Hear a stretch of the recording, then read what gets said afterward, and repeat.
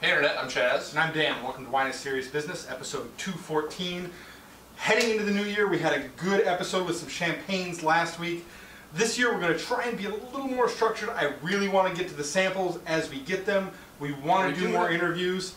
We've got some really great opportunities for interviews lined up. Thanks to everybody who watches and respects the show. I really want to say that we're benefiting that as we move from the new move into the new year because like we've got more interviews available than we can take advantage of. So thanks to all of you who are willing to do that, and we hope to seize more of them as 2014 progresses. Yes, and thanks for all the new likes and on Facebook and the new subscriptions. This is great to have. Uh, yeah, tells us that So tonight we're all right, getting into so- some samples that we really need to. Um, Janel uh, works for Trellis.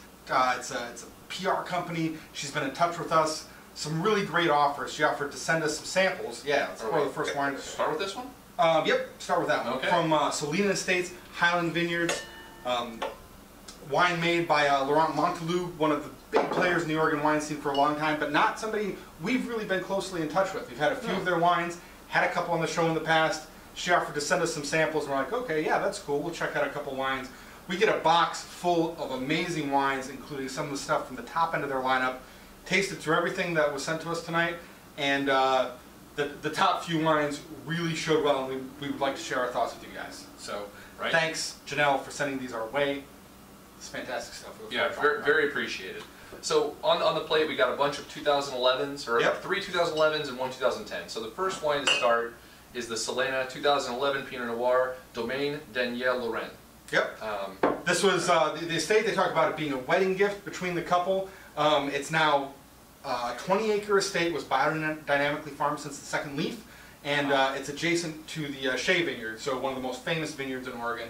Yamhill Carlton, kind of known for the dark Huge. black earth. Yep. Um, yeah, let's get into it. Check them out. Clear color in the glass, lot, reminiscent of a lot of 2011s, right? See right through it.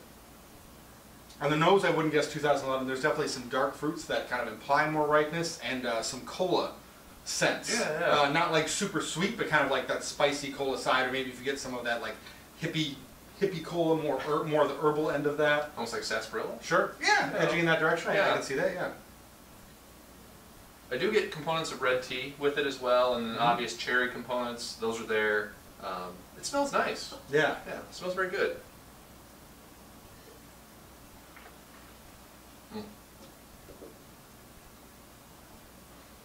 Really nice consistency on the palate. Like Totally. it's definitely like a more medium light bodied wine, but just really balanced.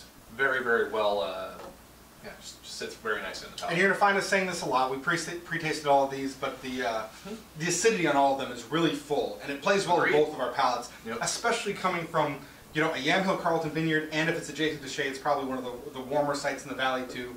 Um, kind of tendency to maybe be too ripe in hotter years. In 2011, not a problem at all. Nice, Nope. crisp, tight package here with really good flavors.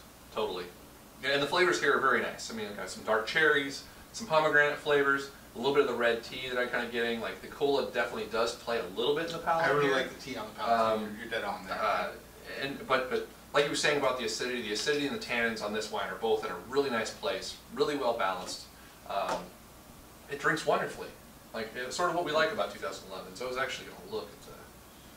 I get a little bit of the like the cherry skin along with those tannins. The tannins, like you said, they just don't get too heavy. There's just a little bit of structure there, and there's kind of like a smooth sense of the fruit that lingers. Not too long. Things definitely dry up as it progresses through the finish, uh, but there's a good sense of fruit that like sticks around underneath the acidity and persists a little bit, which I dig. Totally. And surprising about the alcohol content in this, based on the, the way the structure and the way that the, the body is with the wine, I would say low 13s or even like high 12s. Sure. 13.7. Okay. Another surprising turn of events. I mean, or in Yeah. pre-tasting these, and, and, and really well done. I mean, this uh, it comes across the palate. There's there's no alcohol heat coming through, uh, at least for me at all. So 89 plus for me. Solid wine. yeah, 90, 90 for me. Uh, really delicious. I think delivers at its price point, fifty dollars, Yep. forty-five 50 dollars. bucks. Yep. Um, yeah, I think it's I think it's delicious wine. So wouldn't wouldn't Yeah. steer clear of that at all. Okay. So this the second one we have is the Hyland Estate 2010 Pinot Noir.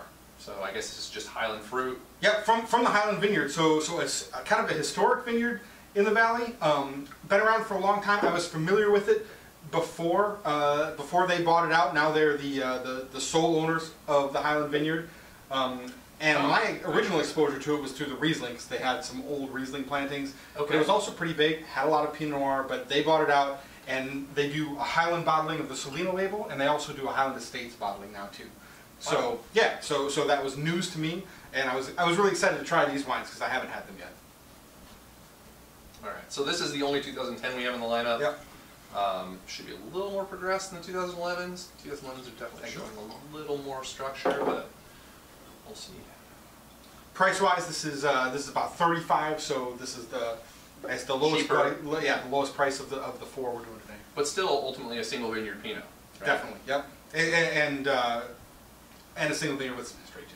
Yeah. Good point. Funk, funky nose here. Like, uh, definitely more like the funky, mushroomy, a little bit earthy components, but definitely like some cherry fruit. hmm I get like strawberries with the seeds attached to it, and Yeah. the pomegranate you talked about on the palate here. I'm definitely getting some of that on the nose. It smells good. Another one, but this is definitely more on the earthy components, a little more mushroomy. Mm-hmm. Yeah.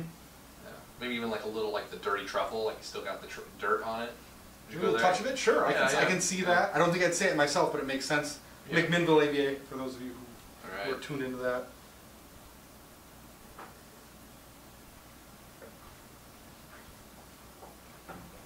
Man, the structure is in a really nice place right now, um, and the fruit has this bright freshness to it, uh, which you know we were talking about this being a little more evolved. I can kind of see it being 2010 from the bright fruit, but it's not showing any age at all. No, Um, no, absolutely not. Um, yeah. A little bit of integration actually. The time served this well. I bet this tastes better now than it did the day it was released. Absolutely. Um, there's better, better integration between the fruit and the structure here. The acidity's in a really nice place. Tannins are in a really nice place. Hmm. It is drinking. It's drinking very well. So Man, where it's really getting to me is there's the fruit is really integrated on the mid palate. It's smooth and still really fresh. The acidity is really nice, and it's got this great combination, I think, of apple flavors and really fresh cherry flavors um, that work really well together. Kind of on the finish, the acidity gets pretty full. I'm getting maybe just a touch of lime peel in with the limes, a little bit of green apples on the acidity that clean things up, uh, but that really nice ripe fruit lingers underneath. right. I was I was, I was going to say like it, it's sort of boggling my mind in that sense that I'm getting flavors in this Pinot that I don't typically get in Pinots. Like there's some of the almost like sour apple thing going on in the finish, right? Like it's what like do you sour- associate that with usually? like like riper cherries and uh, it, it's more I sort of start to think of like grapefruity or Okay, yeah, or, uh, totally, totally. you know when you start to edge into those tart flavors but this is is edging more towards apples for me or like underripe Mhm. apples and uh, in that sense it's very very nice and, and the and the acidity does come in very strong on the finish it definitely as I'm having more sips it's like fuller and fuller but uh, Not for everybody. Right. Works for me. yeah and, and I, I I'm enjoying it actually Yeah. very much so um, yeah very nice wine Yeah, 90 points for me. Um, this is in a really good place. The mid palate, I think, really stands out to me. And at 35 bucks, I think if you could still get your hands on it as a 2010, definitely worth checking out. Totally. Um, man, this has improved since I tasted and I wrote my note on it. 80 Mhm. 89 plus for me, or 89 points. Uh, really delicious wine. So Yeah, a little bit of trade on the last one. We're moving kind of fast because we decided to do four wines. We just couldn't figure out which one of these to drop. Normally we try and keep it to three, but uh, This is the Hyland. Right. Okay. So this is the Hyland Vineyard bottling under the Solena label. from 2011. Yep. So as, as we're going forward, we're only gonna have, only going to have 11s with these two. Um, yeah. Yeah, yeah. So same vineyard as the last one, and Mhm. same vineyard as the next one. What? Feeling good? I poured myself a big rinse. Ah, well. Oh. I'll get I'll get you the rinse on the next one. I'll get you a nice. Uh, Well, no, I don't want you to. Uh, whatever. any off-camera pours? That's pretty All right. Jammy jam. Yeah, we got a, we got a whole audience today. Yeah. So I think I just did the first damage to Chaz's white carpet just now. Did too, you? I think, but uh, drip, drop, dripping, if you will. yeah, I got white. I, I ended up in an apartment with white carpet. Yep. I, cur- I cussed when I first walked in. Yeah, for a wine drinker, that's a big risk. That's a big risk. Okay. so- 2011 Hyland Vineyard from Solena. Great complexity on the nose, jumping right out of the glass. There's kind of a lot of intensity here um, that I haven't experienced out of a lot of 2011s. Um, you know, they're getting, you know, the 12s are starting to come out, so the 11s, kind of the more mature 11s, are really showing up on the market. Yeah. Um, but they're still on the younger side. This definitely is showing more maturity on the nose right away. There's more intensity, there, there's, for, for, talking about 11s in general, there's great intensity of fruit here, which doesn't happen a lot of times, but there's also, uh, you get some of the red tea components, a little bit of the earthy components as well, um, some of that Oregon funk I like to talk about. It is there. Yeah, Yeah, it's, yeah. definitely there, um, the barnyardy sort of forest floor thing, um, I'm Yeah, getting some cloves along with like dark Mm. cherries and skins, but the real takeaway here, actually. yeah, there's a lot of there is a there's some pick, great yeah. complexity on the nose here al- Yeah. already. Totally. This is this is yeah. It smells wonderful. So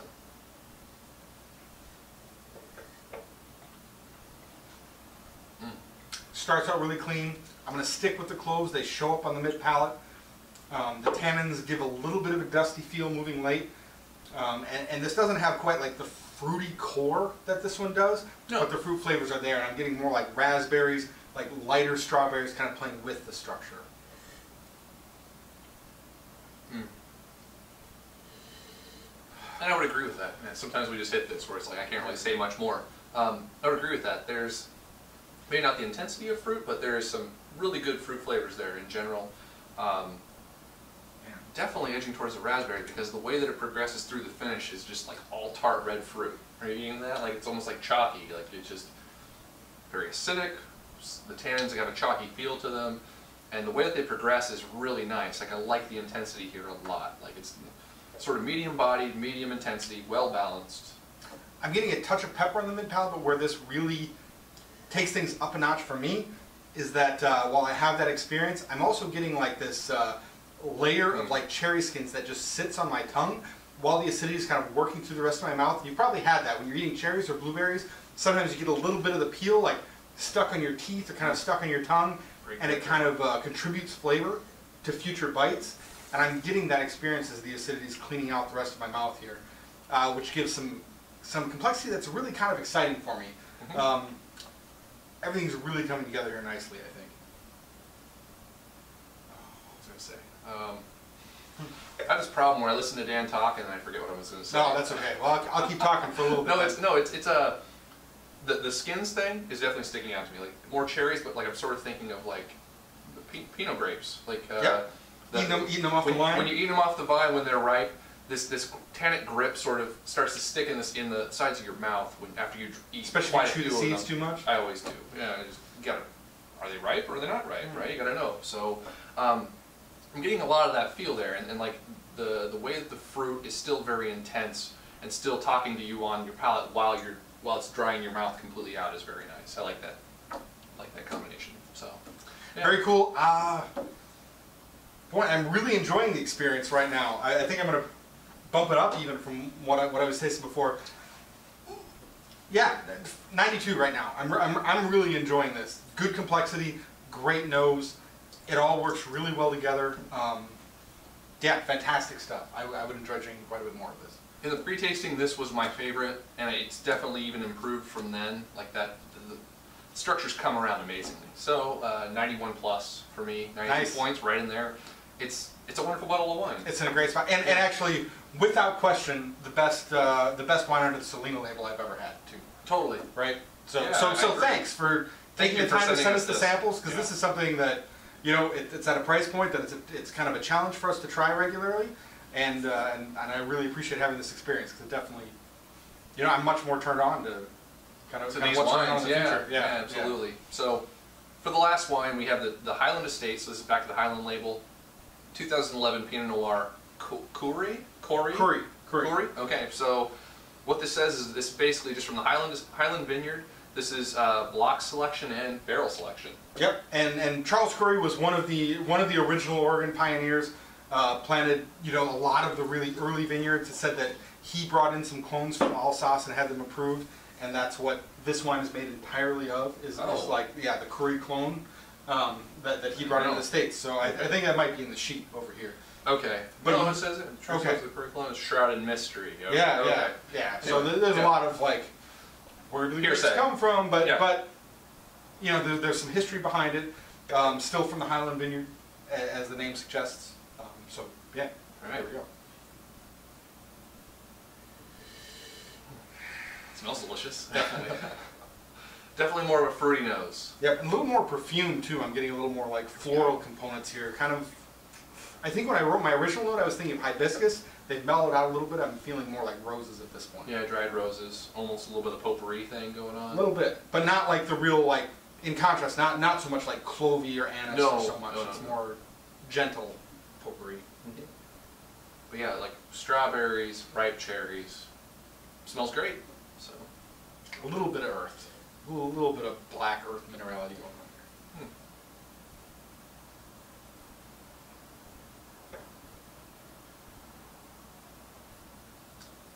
it's delicious. Yeah. Yeah. Um, structure shows up right away, but never gets too full. And This is kind of an interesting experience for me. I haven't had a whole lot of this where the, the tannins sit on the uh, front of the palate and slowly evolve across while the uh, fruit more works on the back and on the sides.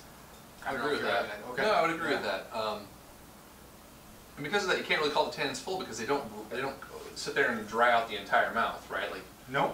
yeah, your tongue has a lot of time to experience the fruit flavors, and which are definitely on the softer side. Like you've got some sort of older older strawberries, ripe cherries.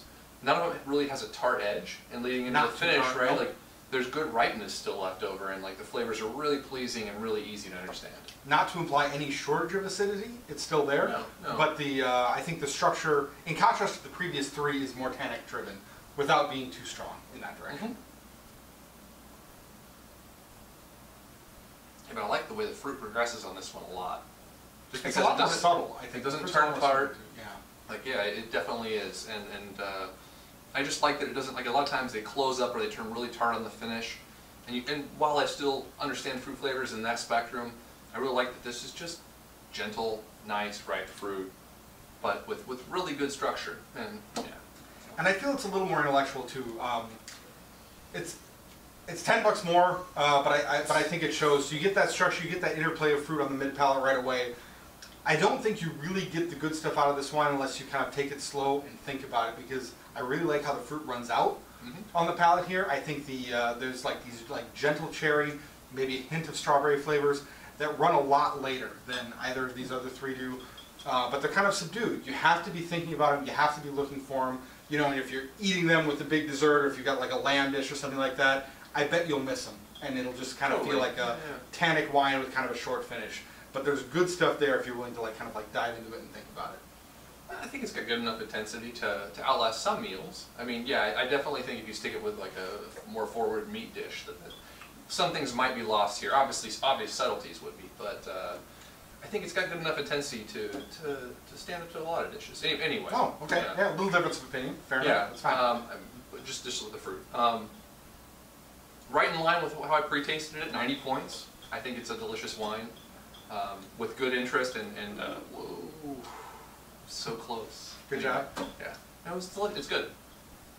Um, yeah, ni- 91 for me. That that little bit of uh, complexity on the finish is really exciting for me. Mm. I'm really feeling it. Feeling it a little bit less than I did earlier, um, but I think Wow. following this, with that, which had a little more fruit, kind of punch to it, maybe holding it back a little bit. Anyway, 91, Possibly. still pretty exciting. Good complexity. Um, more fantastic wines that we, we wouldn't have had a chance to experience otherwise. So, thanks, uh, you know, to Solena, Hyland Estate, Yes. Montalieu, and Janel. Janel. Janel. Yeah. Thanks for sending us these wines. This was a great experience. It was really nice to get to taste all these side by side.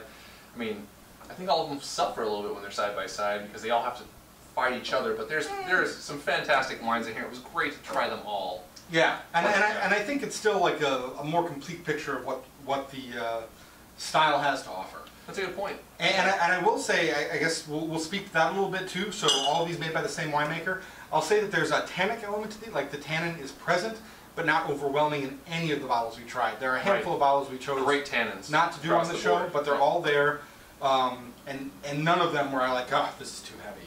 Which, No, which happens to me semi regularly. yeah, we're both pretty sensitive to that. Yeah, and, and very well done. So So, we'll see. So thanks again. Um, question, question of the day. This kind of leads to something pretty easy, I think. When was the last time you were surprised by the quality of something that you hadn't had much exposure to? I think everybody's had that. Hmm. everybody has that experience every six months or so. Totally. Let us know what you think. I mean, you're you're sitting you're sitting in front of ours right now, so uh, we don't need to answer this. We well, no, but I'm, I'm, just trying to think of one, but can't right off the top of my no, head. We, we yeah. got it right here. That's we actually a really great point. Yeah, yeah, we don't have to answer it. You guys do. Um, We'll see you next week. Thanks for watching. Later, guys.